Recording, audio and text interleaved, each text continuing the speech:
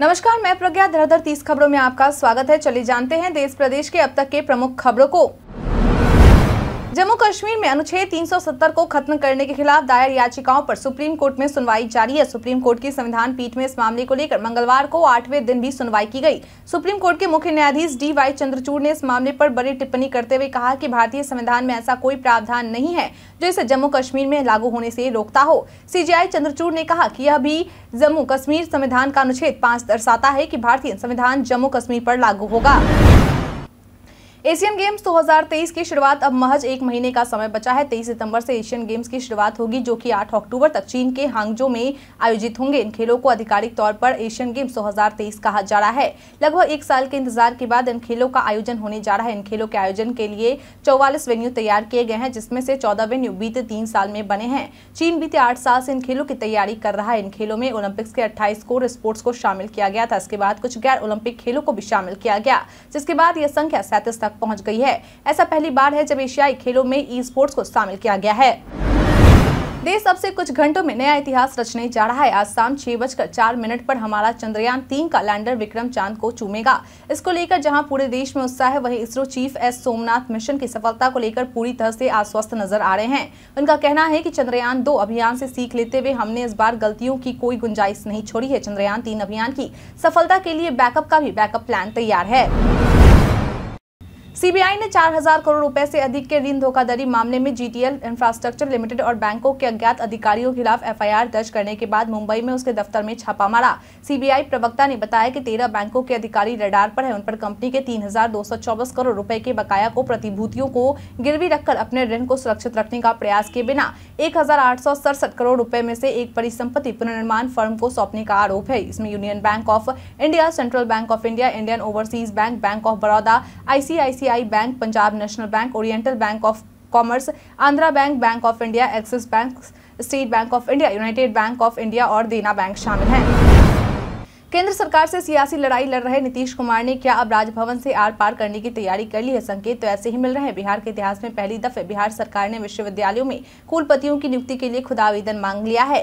बड़ी बात यह है कि राजभवन ने पहले ही कुलपतियों की नियुक्ति के लिए विज्ञापन निकाल रखा है, लेकिन बिहार सरकार ने राज्यपाल को किनारे लगाकर खुद नियुक्ति का विज्ञापन निकाल दिया है। बता दें कि राज्यपाल ही बिहार के विश्वविद्यालयों के चांसलर यानी कुलाधिपति होते हैं। कुलपतियों की नियुक्ति राज्यपाल ही करते हैं। लोक जनशक्ति पार्टी रामविलास के अध्यक्ष एवं जमुई लोकसभा क्षेत्र से सांसद चिराग पासवान ने बिहार के मुख्यमंत्री नीतीश कुमार पर गंभीर आरोप लगाए। उन्होंने कहा कि पार्टी की लोकप्रियता देख नीतीश कुमार उनकी राजनीतिक हत्या करवाना चाहते हैं। पासवान ने नीतीश कुमार तथा इंडिया गठबंधन पर जमकर निशाना साधा।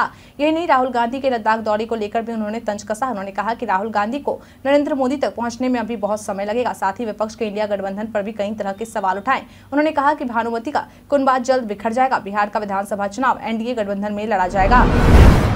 पाकिस्तान के पूर्व मंत्री फवाद हुसैन ने मंगलवार को भारत के तीसरे चंद्र मिशन की प्रशंसा की। इतना ही नहीं, उन्होंने इसे मानव जाति के लिए ऐतिहासिक क्षण बताया। उन्होंने सोशल मीडिया पर पहले भारत को बधाई दी, फिर कहा कि पाकिस्तान की मीडिया को भारत का चंद्रयान तीन, जब बुधवार शाम छह बजकर पंद्रह मिनट पर चाँद पर लैंड करेगा, तब उसे लाइव दिखाना चाहिए। उन्होंने कहा कि मानव जाति के लिए ऐतिहासिक क्षण है, खासकर भारत के लोगों, वैज्ञानिकों और अंतरिक्ष से जुड़े लोगों के लिए। अमरनाथ यात्रा के लिए आने वाले श्रद्धालुओं की संख्या में लगातार कमी देखने को मिल रही है। इसी बीच अमरनाथ यात्रा को निलंबित कर दिया गया है। अमरनाथ यात्रा अभी अस्थायी रूप से स्थगित रहेगी। ट्रैक बहाली के कार्यों को देखते हुए और भक्तों की संख्या में हो रही कमी के चलते तेईस अगस्त से यात्रा को रोक दिया गया है। अमरनाथ यात्रा में पवित्र हिमलिंग के दर्शनों के अतिरिक्त सर्वाधिक महत्व की चीज़ छड़ी मुबारक है। वहीं छड़ी मुबारक का समापन इकतीस अगस्त को होगा। पाकिस्तान के साथ बातचीत फिर से शुरू करने की वकालत करते हुए राजनयिक से नेता बने मणिशंकर अय्यर ने कहा कि भारत तब तक दुनिया में अपना उचित स्थान नहीं ले पाएगा जब तक उसका पड़ोसी गले की फांस बना रहेगा। अपनी नई किताब को लेकर अय्यर ने कहा कि उनके नौकरशाही करियर का पीक पॉइंट पाकिस्तान में महावाणिज्य दूत के रूप में उनका कार्यकाल था और उन्होंने पहले कराची में अपने तीन वर्षों पर बहुत विस्तार से चर्चा की है। उन्होंने कहा कि पाकिस्तान में भारत की सबसे बड़ी संपत्ति वहाँ के लोग हैं जो इसे दुश्मन नहीं मानते हैं।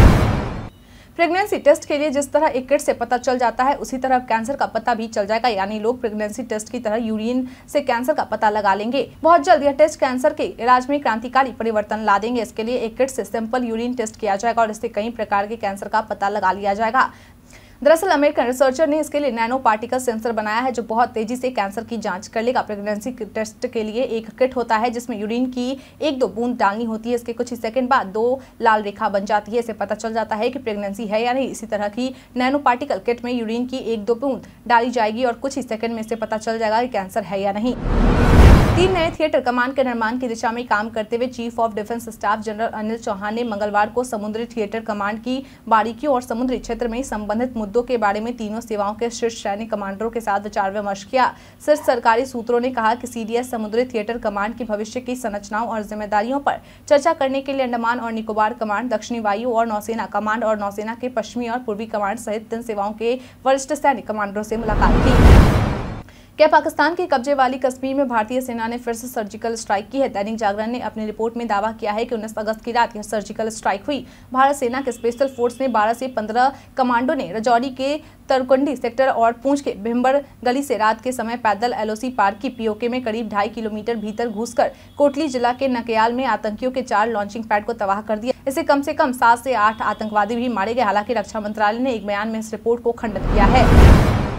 गौतम अडानी समूह की कंपनी अडानी ग्रीन एनर्जी पर बॉम्बे स्टॉक एक्सचेंज यानी बीएसई और नेशनल स्टॉक एक्सचेंज ने जुर्माना लगाया है। कंपनी पर निर्धारित प्रावधानों का अनुपालन नहीं करने के लिए बीएसई और एनएसई ने क्रमशः दो दशमलव दो चार लाख रुपए का जुर्माना लगाया है। इसकी जानकारी अडानी ग्रीन एनर्जी ने शेयर बाज़ार को दी है। जानकारी के मुताबिक बीएसई और नेशनल स्टॉक एक्सचेंज ने कुछ अनुपालन नहीं होने पर इक्कीस अगस्त दो हज़ार तेईस के पत्र के ज़रिए कंपनी पर दो लाख चौबीस हज़ार दो सौ रुपए का अलग अलग जुर्माना लगाया है। एक महिला निदेशक के असामयिक निधन और एक स्वतंत्र निदेशक के बाहर जाने के कारण यह स्थिति पैदा हुई।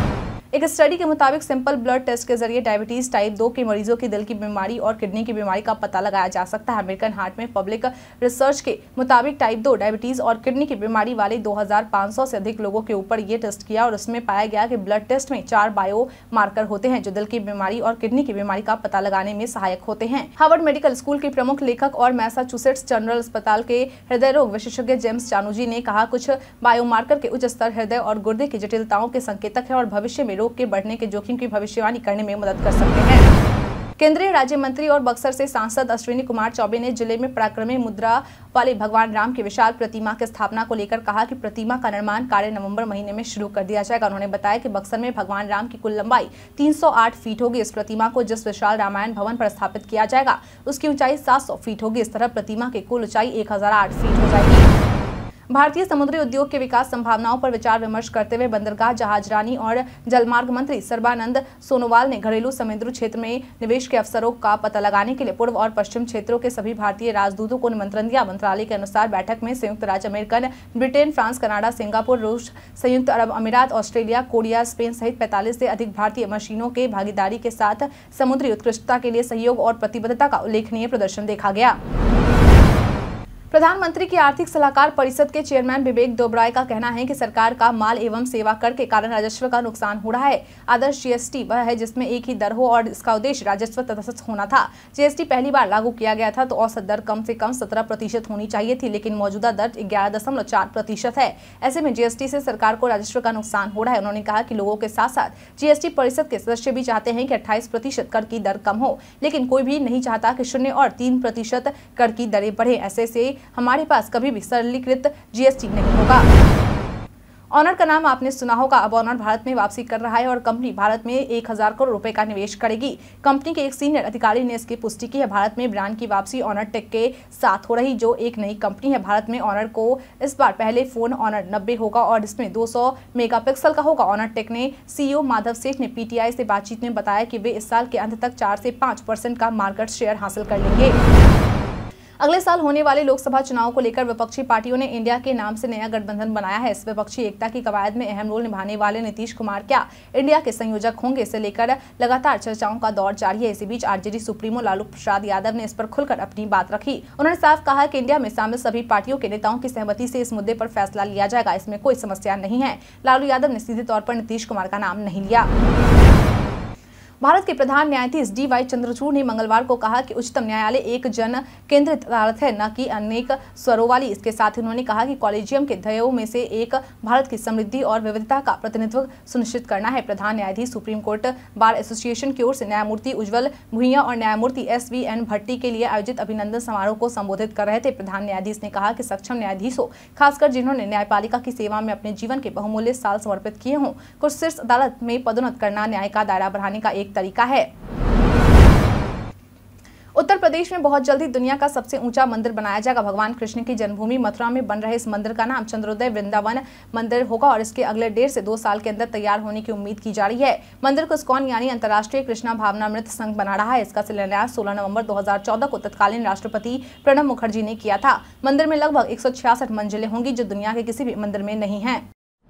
सरकारी बेनी रत्न कंपनी बीईएमएल लिमिटेड के शेयरों में बुधवार को तगड़ा उछाल किया है। कंपनी के शेयर पाँच परसेंट की तेज़ी के साथ दो हज़ार एक सौ तिरासी दशमलव नौ पाँच रुपए पर पहुँच गए हैं। बीईएमएल लिमिटेड के शेयरों का यह बावन हफ़्ते का नया हाई लेवल है।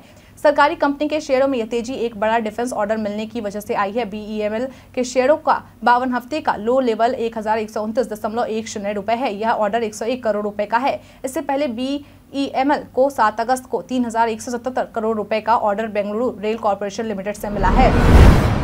भारतीय जनता पार्टी के प्रदेश अध्यक्ष सम्राट चौधरी ने जनता दल यूनाइटेड पर बड़ा हमला बोला है। उन्होंने जेडीयू पार्टी को झूठ का यूनिवर्सिटी बताया। उन्होंने कहा कि जो झूठ बोलने वाला यूनिवर्सिटी हो, वो लगातार जातीय गणना पर भ्रम फैलाने का काम कर रही है। सम्राट चौधरी ने कहा कि मुख्यमंत्री नीतीश कुमार की पार्टी जेडीयू लगातार झूठ का सहारा ले रही है। बिहार में इनकी पार्टी के लोग लगातार भ्रम फैलाने का काम कर रहे हैं। उन्होंने कहा कि नीतीश कुमार की पार्टी जेडीयू को मैं चैलेंज करना चाहता हूँ कि यदि हिम्मत है तो वो कागज़ दिखाए जिसमें सॉलिसिटर जनरल ने विरोध किया है। नीतीश कुमार और उनकी पार्टी के नेता लगातार इस संबंध में झूठ बोल रहे हैं। लोगों के बीच भ्रम फैला रहे हैं। सुप्रीम कोर्ट ने एंटीलिया बम कांड और कारोबारी मनसुख हिरेन की हत्या के मामले में गिरफ़्तार पूर्व पुलिस अधिकारी प्रदीप शर्मा को जमानत दे दी है। एंटीलिया कांड की जाँच कर रही राष्ट्रीय जाँच एजेंसी एनआई ने आरोप लगाया है कि शर्मा ने हिरेन की हत्या करने में अपने पूर्व सहयोगी सचिन वजे की मदद की थी। पच्चीस फरवरी दो हज़ार इक्कीस को दक्षिण मुंबई स्थित उद्योगपति मुकेश अंबानी के आवास एंटीलिया के पास विस्फोटक से भरी एसयूवी गाड़ी मिली थी। एसयूवी थाने के रहने वाले कारोबारी मनसुख हिरेन की थी, जो पाँच मार्च दो हज़ार इक्कीस को थाने में खाड़ी में उनका सब बरामद हुआ था। प्रदीप शर्मा को इस मामले में जून दो हज़ार इक्कीस में गिरफ़्तार किया गया था। कल केंद्रीय सड़क परिवहन और राजमार्ग मंत्री नितिन गडकरी ने Bharat new car assessment programme launch किया। ये भारत का अपना क्रैश टेस्ट सेफ्टी प्रोग्राम है, जिसके तहत वाहनों का परीक्षण किया जाएगा। इस नए पहल से ग्राहकों के साथ साथ कार कंपनियों को भी बड़ा आर्थिक लाभ मिलेगा। केंद्रीय मंत्री नितिन गडकरी ने कहा कि यह सरकार का एक बड़ा मिशन था। भारत में किए जाने वाले कार क्रैश टेस्ट की लागत अंतर्राष्ट्रीय बाज़ार की तुलना में केवल एक चौथाई होगी। विदेश में क्रैश टेस्ट की लागत दो करोड़ रुपए है और भारत एनसीएपी के तहत इसे महज साठ लाख रुपए में किया जाएगा। इस प्रोग्राम के लॉन्च से पहले ही तीस कारों के टेस्टिंग की रिक्वेस्ट मिल चुकी है। एस टी 2023 के लिए आवेदन की आखिरी तारीख को बढ़ाकर 25 अगस्त 2023 तक कर दिया गया है। ऐसे में आवेदन करने के इच्छुक उम्मीदवार 25 अगस्त 2023 तक बिहार बोर्ड की आधिकारिक वेबसाइट www.bseb.nic.in पर जाकर आवेदन कर सकते हैं। जो उम्मीदवार पेपर एक के लिए आवेदन करना चाहते हैं, उन्हें मान्यता प्राप्त उच्च शिक्षा संस्थान से न्यूनतम पचास फ़ीसदी अंकों के साथ स्नातक या न्यूनतम पैंतालीस फ़ीसदी अंकों के साथ पीजी और बी किया होना अनिवार्य है। वही वो उम्मीदवार जो पेपर दो के लिए आवेदन करना चाहते हैं, वह संबंधित विषय में न्यूनतम पचास फ़ीसदी अंकों के साथ पीजी और बी किया होना चाहिए। बिहार में चार एनएच का करीब तीन सौ अड़तीस किलोमीटर लंबाई में निर्माण इस साल से मार्च 2024 तक पूरा हो जाएगा। इसमें नरेंद्रपुर पूर्णिया, अररिया, गलगलिया, पिपरा, कोठी, मोतिहारी, रक्सौल और पटना, गया, डोभी सड़क शामिल है। इन सभी का निर्माण कार्य तेज गति से चल रहा है। इनके बनने से एक दर्जन जिलों में आवागमन बेहतर होगा। साथ ही पश्चिम बंगाल, झारखंड और नेपाल से बेहतर कनेक्टिविटी विकसित होगी। इससे राज्य का आर्थिक और सांस्कृतिक विकास होगा। भारतीय क्रिकेट टीम के पूर्व खिलाड़ी मास्टर ब्लास्टर सचिन तेंदुलकर को भारतीय चुनाव आयोग ने एक नई ज़िम्मेदारी दी है। उन्होंने सचिन तेंदुलकर को अपना नेशनल आइकन बनाया है। दरअसल देश में होने वाले लोकसभा और विधानसभा चुनाव को ध्यान में रखते हुए चुनाव आयोग ने यह फैसला लिया है। इससे पहले दो हज़ार उन्नीस के लोकसभा चुनाव के दौरान टीम इंडिया के पूर्व कप्तान M S Dhoni, actor Aamir Khan और बॉक्सर मैरीकॉम जैसे दिग्गज चुनाव आयोग के नेशनल आइकॉन थे। चंद्रयान तीन बुधवार तेईस अगस्त की शाम लगभग छह बजकर चार मिनट पर चंद्रमा के दक्षिणी ध्रुव पर उतरने वाला है, जो ये भारत के लिए एक ऐतिहासिक दिन है। इसी बीच एक्टर आर माधवन ने भी अपनी खुशी का इजहार करते हुए एक ट्वीट किया है। उन्होंने ट्वीट कर कहा है कि चंद्रयान तीन सफल होगा। मेरे शब्दों पर ध्यान दे, शानदार सफलता पर। इसरो को बेहद बधाई। मैं बहुत खुश हूँ और गर्व है। At the rate Nambi N official को भी बधाई। विकास इंजन लॉन्च के दौरान एक बार फिर अच्छा प्रदर्शन करता है। साथ ही एक्टर के स्वीट यूज़र्स भी अपनी अपनी प्रतिक्रिया ज़ाहिर कर रहे हैं। हमारे द्वारा पूछे गए सवाल का आप लोगों में से बहुत लोगों ने अपना जवाब हमें हमारे कमेंट सेक्शन बॉक्स में लिख कर दिया था, जिन्होंने हमारे द्वारा पूछे सवाल का जवाब दिया है। उनके नाम है सोसन कुमार, मोहम्मद सकीर हुसैन गोलू कुमार, नौशद अंसारी, अनवर करीम खान, अर्जुन राम, मिंटू कुमार, धनंजय कुमार। अब बढ़ते हैं आज के सवाल की ओर। आज का सवाल है, आपके क्षेत्र का प्रसिद्ध मंदिर कौन सा है? अपना जवाब हमें हमारे कमेंट सेक्शन में लिखकर ज़रूर बताएँ। आज के लिए इतना ही। धन्यवाद।